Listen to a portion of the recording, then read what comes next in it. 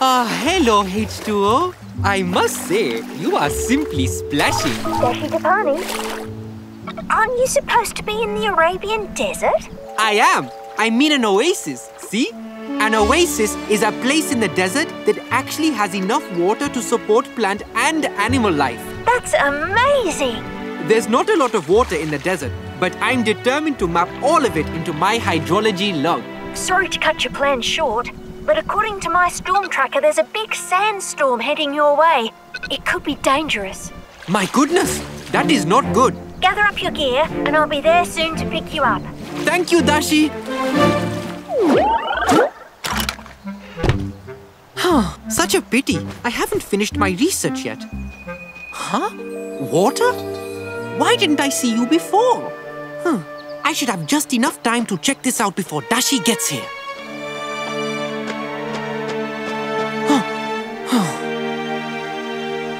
Huh?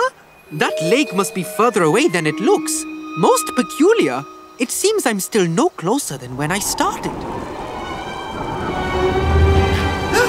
oh no! I forgot all about the sandstorm. No time to get back to the oasis. So there's only one thing to do.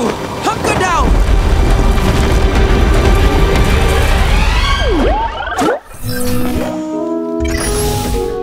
Okay, Paani, let's go. Paani? Dashi to Paani, do you read me? Where can he be?